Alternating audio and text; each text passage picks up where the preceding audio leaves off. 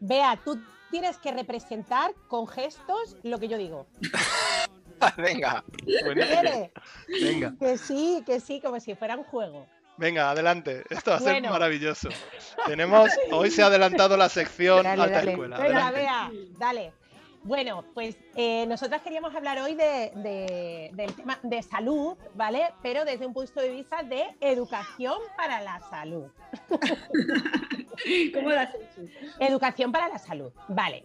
Eh, bueno, queremos introducirle la perspectiva de género como normalmente hacemos, entonces, bueno, vamos a hablar especialmente de salud femenina, pero bueno, también vamos a hablar en general de la salud, ¿vale? Entonces, bueno, queríamos hablar de un libro que es como una especie de referente de salud femenina que se llama Cuerpo de Mujer, Sabiduría Mujer, de una ginecóloga que se llama Christian Nordrup, creo que se dice así.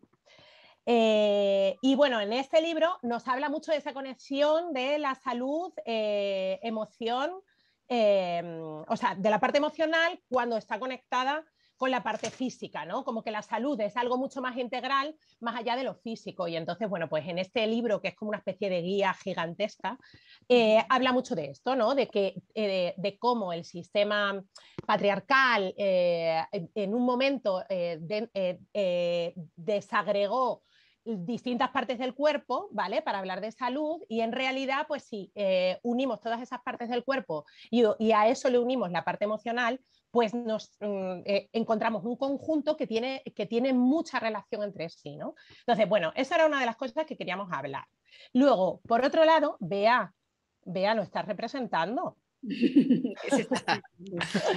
Luego, aparte de eso, bueno, pues eh, también hay una, una autora extremeña, además, que se llama Miriam Alfalib, eh, que también es ginecóloga casualmente y también habla mucho de estos temas. Y además ella le, le incluye, le agrega el tema del contexto sociocultural, es decir, cómo la salud está relacionada tanto con el tema emocional y también con el contexto sociocultural. Pues yo recuerdo, por ejemplo, eh, toda la vida a mis ancestras diciendo, ay, sí, pobrecita, es que no sé quién está, siempre ha tenido problemas de nervios, ¿no? Y a lo mejor lo que le pasaba era que estaba, vea, represéntalo, hasta el coño, quien sea. y los No sé, me he cambiado, eh, he entrado y he salido, ¿me escucháis ahora? Perfecto. Eh, ahora muy bien. eh, Sí, vale. Que hace un tiempo ya hablamos sobre el libro de Karma Valls, que era una, no sé si lo recordáis, ella habla de eso, ¿no? De cómo a las mujeres mm, ante cualquier dolencia, en vez de estudiar lo que nos pasa con una base científica, pues directamente se nos medica, se nos dan ansiolíticos y hay un porcentaje muy alto de mujeres que toman ansiolíticos, aunque tengan en realidad otra enfermedad de base, pero no se les estudia. Correcto. Pues sí, ahí está la referencia en, en el en los espacios anteriores, para quien lo quiera escuchar, ¿no vea? Luego, Sí. entonces, ¿qué ocurre? Pues que necesitamos mucha educación para la salud, ¿no? Y, con, y de una mayor calidad. Entonces, por un lado, queríamos hablar de la salud desde la infancia a la adolescencia, ¿vale? Esa educación para la salud. Y ahí, bueno, pues si nos vamos, eh, por ejemplo, a salud femenina, hay mucho que decir sobre el tema de la menstruación y sobre el ciclo menstrual, ¿no? Que tiene, porque tiene mucho que ver con nuestro físico, ¿no? Con nuestra evolución y desarrollo físico, pero también tiene mucho que ver con nuestro estado emocional, ¿no? Cómo nuestras emociones y nuestra, eh, nuestro estado físico y emocional se interrelacionan constantemente todos los meses de nuestra vida, ¿vale? Entonces, en eso queríamos hacer referencia pues a una gente que nos encanta, que hacen educación en esta línea, que son la gente de Menstruita, y además hacen congresos muy interesantes. Eh, tienen un libro muy interesante que se llama eh, La regla mola, si sabes cómo funciona, ¿vale?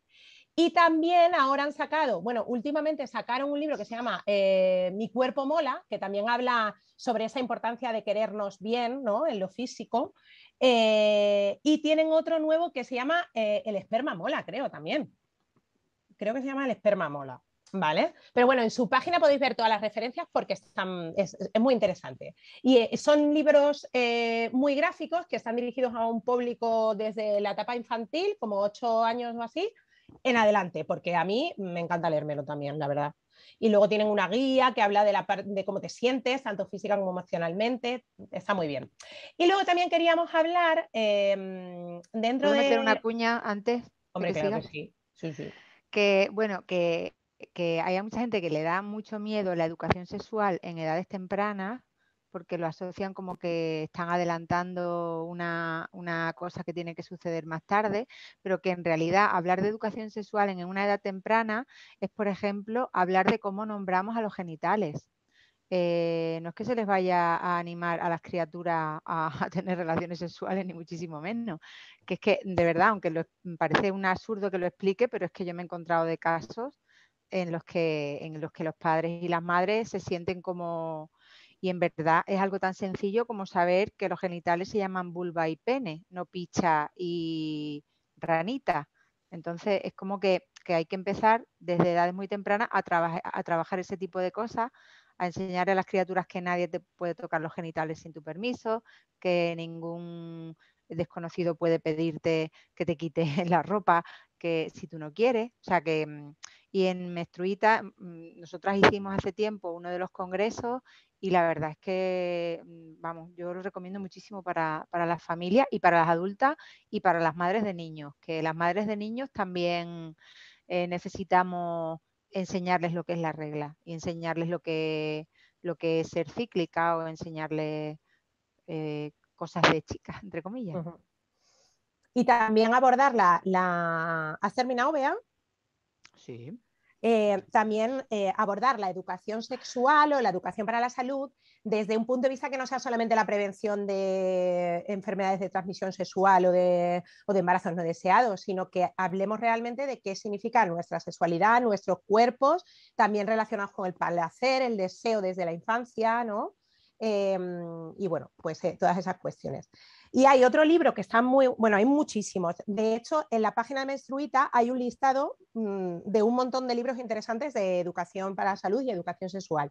Pero luego también hay uno que está muy bien, que también es desde 8 años o así y es muy divertido, que se llama Sexo es una palabra divertida. Y entonces, eh, este libro lo plantea desde un punto de vista de la diversidad y es muy interesante, desde la diversidad en todos sus sentidos, o sea, porque son eh, personas de, mm, muy diferentes las que forman parte del libro, es una especie de cómic y está chulísimo, la verdad, para hablar de nuestros cuerpos y luego de, de, todas las partes del cuerpo, pues nos habla desde nuestro pene, nuestra vulva, nuestros culos y las relaciones que tenemos entre, entre nosotras. Eh, quién, eh, todos las, los tipos de gente que nos puede gustar o por, por los que podemos sentir deseo. Eh, y un montón de etcéteras. Está muy bien. Oye, pues y... si luego ponéis el listado de los, todos los libros, estaría mm. bien tenerlo vale. para, sí. para cogerlos. ¿eh? Para... Vale. Estoy mirando que en esta, la web de Menstruita eh, hay un buen listado, ¿no? Sí. Ahí, es, Sí. ahí, hay un, ahí hay un librería, listado ¿no? que, sí, ahí hay un listado que está, que está muy bien. Sí. Y luego, Y luego cuando aparecen los hacen tres los- suyos. Cuando haces los congresos te dan, o sea, nosotras en el que hicimos no solamente te da libros, te da otro, otro tipo de recursos de, de- de diferentes índoles también. Sí, está muy bien. Y ahora hay un debate chulo porque se ha sumado al carro de la menstruación, se ha sumado Disney. Pixar, bueno, sí, A ver. Ah, con Con la peli, película, ¿no? Rojo. con la peli de Red. Sí. Red. Y entonces, ¿La habéis- no no la habéis visto? ¿La habéis visto? ¿No? Pues, Está, Pues- está muy, está muy chula. Eh, y ha generado mucha polémica también. Porque, porque, bueno, hay gente, han hecho comentarios muy, muy graciosos, leer alguno, ¿no? Como en plan, eh, no me siento identificado con este personaje, porque realmente no tiene nada que ver con, conmigo, ¿no? Y entonces eh, había gente que le contestaba, sobre todo chicos, además había contestaciones de, de chicos que me han gustado mucho, que eran, eh, vale, no te sientes identificado con una niña con gafas de, de 13 años, pero sí te sientes identificado con Batman eh, y su última película, ¿no? Como en plan, porque eso sí tiene mucho que ver contigo. Eso es. O, O con eh, SREC, con SREC. claro, con gente... O la película es solo para gente muy específica, ¿no? Le- Y entonces le contesta una mujer y le dice, vale, sí, con gente muy específica, la mitad de la población. Eh, puede ser un poco incómoda, incómoda. Bueno, la regla, mm, qué asco, ¿no? El tema de siempre. Entonces, bueno, que la peli está muy bien porque además habla de una manera eh, desde muchas perspectivas. eh, habla también mucho de, la sororidad entre chicas y habla de toda la etapa realmente de la adolescencia. Y además está ambientada en una, en una época que seguro que, conecta mucho eh, con nosotras, las, adultas. Jóvenes. sí, las jóvenes adultas, porque está ambientada así como, no sé, como en los 90, ¿no? En el, do- en lo- Sí, no, el- en el 2000. en el año 2000, Bueno, ¿no? para mí la peli tiene muchas cosas que son muy criticables porque es Pixar y al final, bueno, Eh, pero evidentemente. solamente por ser la primera peli que habla de la regla, para mí, de verdad, tiene, mm, tiene mi 10. Bueno, oye, no- nos la Totalmente. apuntamos, nos la apuntamos porque aquí hay Mm. Disney Plus en casa y, oye, ¿por qué no verlo? A lo mejor mis peques son un poco... Yo dije que mis hijos publicidad nunca gratuita que verían. Disney. Sí, yo dije que mis hijos nunca diría, nunca ir- verían pelis de Disney y que nunca irían a un centro. Pero hay algunas pelis de. Disney que están cambiando. Hay dos o tres que, que se- que se están coronando. Y de hecho hay Bueno, una esta en en concreto. concreto me parece una ruptura y esta es una ruptura total. Bueno, O sea, el equipo, película es una además que- ruptura total. El equipo que la ha hecho son todo, todo chicas, además. Mm. O sea, Muy bueno, bien. Pues Bea y Blanca, Blanca y Bea. Eh, nos apuntamos la referencia de Solo Menstruita una última, para... una última cosa rápida, Sí, ¿vale? Dale. Que es lo que, que- lo que he dicho antes, que no me había escuchado. Que era Hmm. mi mensaje a los creativos de los anuncios Ah. de compresa, que seguro que son tíos. Que yo, y ahora canto la canción, sin sun, sin sun, yo no hago la voltereta lateral sin la regla. Pero os aseguro que con la regla muchísimo menos.